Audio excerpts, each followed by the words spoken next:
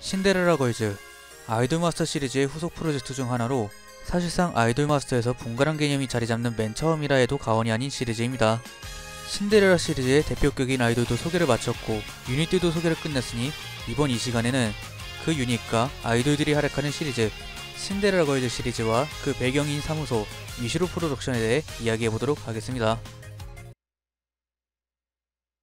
아이돌 마스터 신데렐라 걸즈 아이돌 마스터의 후속 프로젝트 중 하나로 아이돌 마스터의 분가란 개념이 자리 잡는 맨 처음이라 해도 과언이 아닌 시리즈이기도 합니다. 사실 신데렐라 이전 첫 후속 프로젝트로 외전격인 느낌으로 출시된 디어리 스타즈가 있지만 여러 사정으로 후속작이 나오지 못하게 되며 사이드 프랜차이즈라기보단 본가에 속한 단편 외전으로 보는 사람들이 많으며 시리즈가 이어지지 못한 디어리의 상황과 팬들의 취급을 인지해서인지 공식 방송에서도 올스타 다음 시리즈로 신데렐라를 많이 언급합니다. 신데렐라 걸즈의 배경은 신인 프로듀서인 유저들이 독자적으로 프로덕션을 창설하고 신데렐라 시리즈에 속하여 있는 다양한 아이돌들을 스카우트하여 육성한다는 스토리를 가지고 시작되었습니다. 물론 지금에 와서는 초기와 현재의 스토리가 많이 달라지기는 했지만 190명의 아이돌들이 보여주는 이야기는 그녀들의 개성을 잘 살린 재미있는 이야기를 들려줍니다. 이렇게 독자적인 세계관을 가진 분가 시리즈 신데렐라 걸즈가 흥행하고 그것에 힘입어 더욱 다양한 세계관을 가진 시리즈를 양성하게 되는데 대표적으로 밀리언 라이브, 사이드엠, 샤이니 컬러즈 같은 프랜차이즈가 대표적입니다. 신데렐라 걸즈의 최초 원작은 핸드폰 게임으로 2011년 11월 28일부터 사이게임즈가 제작하고 모바게에서 서비스를 개시합니다. 아이돌 후보생으로 등장하는 캐릭터들은 팬들에게 친숙한 나무코 프로덕션의 전원을 포함 신데렐라 걸즈의 오리지널 아이돌들을 포함한 당시 150명 이상의 아이돌이 등장합니다. 초기에는 아이모드, 이지웹, 야후 등의 일본에서 사용되는 피처폰만 지원했지만 스마트폰의 보급이 활발해지며 2011년 12월 16일부터 iOS, 안드로이드 등 스마트폰에서도 대응할 수 있게 업데이트 후에 2014년 11월 17일부터 구글 플레이 버전과 같은 달인 25일에는 iOS 앱 버전이 등장하며 피처폰 버전은 2018년 7월 31일에 서비스가 종료되었습니다. 이런 모바일 플랫폼 게임이라는 형태를 이용해 유저층은 모바일 아이돌 마스터의 줄임말인 모바마스로 부르고 있습니다. 그 후로 신데렐라 걸즈 시리즈의 흥행으로 본격적으로 자리잡게 된 이후로는 자체적으로 음반, 만화책, 굿즈, 성우 이벤트 등 미디어 믹스화가 활발하게 이루어지며 14년 드디어 첫 대형 단독 라이브 이벤트를 개최 그 라이브를 통해 2015년 1월에 TV 애니메이션 시리즈 방송과 함께 같은 해 9월 후속 모바일 리듬 게임 아이돌 마스터 신데렐라 걸즈 스타라이트 스테이지의 일본 서비스가 시작되었습니다. 스타라이트 스테이지에 이어 계속된 파생 시리즈가 나오는데 DMM을 통해서 서비스를 시작한 스타라이트 스테이지 PC판, 콘솔 VR 게임인 뷰잉 레볼루션, 증강 형식을 이용한 어플, 스타라이트 스팟 같은 시리즈가 나왔습니다. 신데렐라 걸즈의 인기는 한국에서도 이어지는데 본가의 흥행으로 인해 한국에서도 아이마스의 인지도가 높았던 만큼 신데렐라 걸즈 역시 한국에서 큰 관심을 받게 되며 한국어판 시리즈도 서비스를 개시, 한국판 아이돌까지 등장하며 한국 서비스에 힘을 썼지만 아쉽게 16년 3월 14일부로 서비스를 종료하고 맙니다. 신데렐라 걸즈에는 세 가지 속성이 존재합니다. 사랑스러운 귀여움을 어필하는 cute, 멋짐과 아름다움을 겸비하는 cool, 파워풀하며 발랄한 정열의 passion 이렇게 세 개의 속성이 존재하며 총 190명의 아이돌들이 존재하며 그중 성우가 있는 아이돌은 95명이 존재합니다. 신데렐라 걸즈 아이돌 캐릭터들은 외모나 설정에서 저마다 강한 개성을 지니고 있다는 것이 특징입니다. 자신을 영원한 17살이라고 언급하는 아이돌이 있으며 공무원에서 아이돌로 전직한 경우도 있고 전직이 아이돌이었다가 다시 아이돌을 시작한 아이돌까지 있습니다. 이런 식으로 개성이랑 설정이 넘치는 시리즈인 만큼 아이돌이 되는 과정도 다양한데 평범하게는 대부분 길거리 스카우트, 오디션, 양성소에서 성격하기 같은 무난한 세 가지 설정이 있으며 이 과정에서 약간의 해프닝이 있습니다. 조금 심한 일부 아이돌들은 역지시, 낙하산, 엄마가 하라고 시켜서 오디션장을 잘못 찾아와서 프로듀서에게 운명을 느껴서 집에서 쫓겨나 갈 데가 없어서와 같이 평범하지 않은 것에서부터 심지어는 하기 싫은데 방 강제로 하는 등 진짜 사이머스급으로 특이한 이유를 가진 아이돌들이 많습니다. 또한 이런 쪽의 게임이 의뢰 그렇듯 아이돌이 될 생각이 없던 노노나 하루 정도를 제외하면 대부분의 아이돌들은 담당 프로듀서에게 상당한 호감을 가지고 있습니다. 이는 각종 상황에서의 대사에서 잘 드러나는데 나이가 많건 적건 관계없이 믿음직한 동료, 자신을 믿어준 고마운 사람에서부터 강한 어필, 묘하게 결혼을 압박해오는 분위기, 운명의 상대같이 범위는 다양하며 기본적인 호감도도 일부를 제외하면 의외로 높은 편입니다. 대부분 아이돌들의 대사는 P와 함께 있으면 기분이 좋다라던가 P씨는 신경 쓰이는 사람, P랑 오래도록 함께 있을 수 있으면 좋겠다, P랑 같이 있으면 마음이 편하다, P랑 같이 놀고 싶다 등등의 대사는 꼭 하나씩 들어가 있습니다. 현재에는 개성이 넘치는 190명의 아이돌들이 존재하지만 원작인 모바마스 초기에는 나무코 프로덕션 아이돌 13명을 포함하여 100여 명의 신데렐라 걸즈 오리지널 캐릭터들로 출발하였습니다.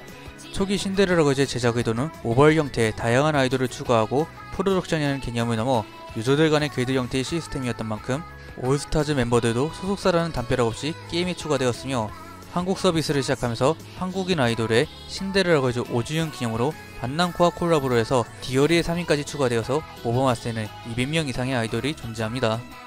정식 후속 시리즈로 개선된 데레스테에서는 콜라보 이벤트로 시즈카와 줄리아가 추가된 것을 제외하면 올스타즈와 디어리 아이돌 없이 originality를 유지하고 있습니다. 그 외에도 사무원인 센카와 치히로, 미시로 프로덕션의 상무 미시로 상무, 트레이너 자매까지 다양한 캐릭터들도 있습니다. 신데렐라 걸즈에는 매년 인기투표 형식의 이벤트인 신데렐라 총선거라는 시스템이 존재합니다. 매년 190명의 아이돌들이 신데렐라 걸이 되기 위해 프로듀서들의 투표로 진행되는 인기투표 시스템이죠. 이 투표로 1년간 신데렐라 걸즈의 간판 아이돌과 함께 다양한 악곡 시리즈를 출시하고 있습니다. 2021년 기준으로 10주년을 맞이하는 시리즈로서 총 10명의 신데걸이 존재합니다. 1대 토도키 아이리, 2대 칸자키 란코, 3대 시부야 린, 4대 시오미 슈코, 5대 시마무라 우즈키, 6대 타카가키 카에데, 7대 아베 나나, 8대 혼다 미오, 9대 호조 카렌, 10대 사기사와 후미카 이렇게 10명의 신데렐라 걸이 존재하며 9종의 총선 앨범이 존재합니다. 그의 파생 투표로 보이스 오디션 투표가 있는데 이는 21년 현재까지 3번이 개최되었습니다. 3대 투표 때 한 번 진행했으나 폐지, 후에 9대 투표 때 부활하며 이 투표로 총 7명의 아이돌이 성우를 배정받았습니다. 3대 때 타치바나 아리스, 9대 때 부활한 보이스 1회차에서는 츠지노 아카리, 스나즈카 아키라, 키류 츠카사, 2회차에서는 아사리 나나미, 야가미 마키노, 사이온지 코토카가 성우를 배정받았습니다. 전통의 대형 프로덕션으로 많은 배우와 가수 등을 보유하고 있다. TV, 영화, 영상 콘텐츠 등의 기획도 하고 사내의 촬영 시설도 갖추고 있다. 아이돌 부문은 아직 시작한 지 얼마 되진 않았지만 업계 내에서도 기대가 모아지고 있다. 미시로 회사의 설명문입니다.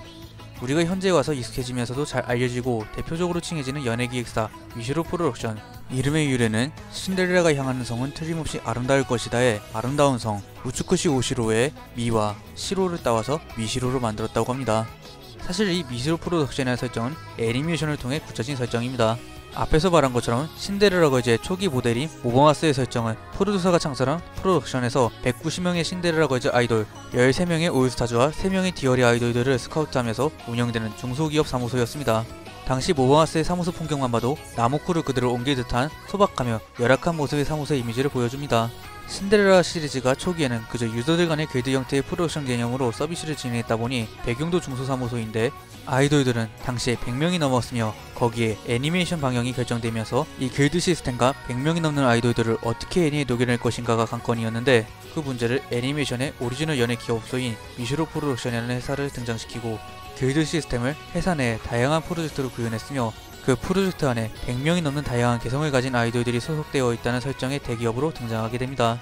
이는 나무코의 라이벌 기업이었던 쿠로이와 거의 버금가는 규모였는데 초기 설정이 평범한 연예 대기업이었으며 거기에 아이돌 부문이 추가가 되면서 아이돌들이 늘어났다는 설정이 생깁니다. 다만 이는 애니메이션 한정 언급이며 모바마스와 데레스테에서는 미시로라는 이름이 언급되지 않다 보니 밀리시타 몇 번이고 웃자 이벤트에서는 다른 사무소들은 사무소 이름이 나왔지만 미시로만은 지금까지 교류가 있던 아이돌이라고 둘러서 말하기도 했습니다. 이런 식으로 애니 내 설정이다 보니 데레스테에서는 미시로라는 이름을 가지고 오지 못했지만 서비스 개시 직후에도 시즌2가 방영 중이었던 데레 애니의 설정을 반영해서인지 애니 등장인물이 미시로 상무가 미션창에 등장하며 카드나 커뮤 등에서 미시로 프로덕션의 로고가 등장하기도 했으며 대기업이라는 설정을 그대로 계승하였는지 스토리 커뮤를 보면 규모가 큰 사무소의 모습을 볼 수 있습니다. 애니 내에서의 생긴 설정이지만 유명 대기업이라는 설정에 맞게 회사의 사원 규모는 상당합니다. 아이돌들은 당연 그 아이돌들을 프로듀스 및 회사를 굴리기 위한 매니지먼트 파트의 직원들도 많습니다. 프로젝트를 운영하는 프로듀서들과 사무원 등의 직원들이 있으며 자매로 이루어진 트레이너들과 스튜디오 촬영사와 관련 직원들, 기업 회사답게 간부급 직위를 가진 임원들까지 사원 규모는 여타 시리즈의 프로덕션보다 많으며 기업 크기인 만큼 회사의 부지 규모도 대단합니다. 역사 있는 정통의 프로덕션답게 프로덕션 본관은 개화기 무렵 지어진 듯한 성처럼 고풍스러운 건축물 본관은 출입구와 안내데스크 정도의 역할만 맡고 있고 아이돌 육성과 주요 업무는 30층이 넘어가는 빌딩인 신관과 부속 건물에서 이루어지고 있습니다. 거기다 부속 건물에는 아이돌 육성을 위한 공간뿐만 아니라 다양한 편의 시설이 존재합니다. 레슨실, 촬영 스튜디오는 당연, 사내 카페, 피부관리실까지 아이돌 육상 및 직원들의 편의시설과 기업 내에서 운영하는 스튜디오 그리고 굳이 내인지는 모르지만 여성 기숙사도 따로 존재합니다. 그리고 사내 규모가 큰 만큼 다양한 연예 기업 프로젝트들도 존재하죠. 다만 아이돌 부문은 당시 생긴 지 얼마 되지 않았다는 설정 때문인지 다른 연예 프로젝트는 인원이 널널해 보이지만 아이돌 부문만 인원이 부족한 듯한 빠듯한 묘사가 애니 중에 자주 언급되었습니다. 이렇게 보니 빌딩 하나에 전부 있는 쿠루이랑 비교했을 때 쿠로이보다 더 엄청난 기업으로 보이네요. 이런 식으로 미시로는 애니에서 만들어진 기업인 만큼 스핀오프나 신데렐라 걸즈 극장에서는 미시로라는 언급이 등장하지 않으며 독자적인 프로덕션 혹은 회사로 언급 특히 유명한 신데렐라 걸즈 극장에서는 르러스트처럼 소규모로 기획사가 운영되고 있다는 것으로 묘사됩니다. 대신 나무코보다는 사무실 숫자가 많은 것처럼 묘사되었기에 적어도 원작에서도 나무코보다는 회사 규모는 큰 편인 듯합니다. 오늘은 올스타즈 다음으로 10년 넘게 인기를 유지한 시리즈 신데렐라 걸즈의 이야기를 해봤습니다. 당시 올스타즈의 힘을 입어 모바일 게임을 개발하던 싸이게임즈를 통해 개발한 새로운 후속 시리즈였던 신데렐라 걸즈 싸이게임즈의 특유의 감성과 아이돌 마스터 시리즈를 운영하던 반남의 감성을 합친 참 대단한 게임입니다. 특히 아이돌들의 설정이 말이죠. 모모하스의 경우는 옛날 같은 위상은 거의 없고 데레스테에 비해서 서비스 규모도 많이 작아졌지만 지금의 신데렐라 시리즈를 있게 만들어준 고마운 시리즈이며 우리에게 가차라는 무서움을 안겨준 게임이 아닐까 생각하네요. 그럼 이번 영상 여기서 마치고 전 다음 영상으로 찾아오도록 하겠습니다. 그럼 안녕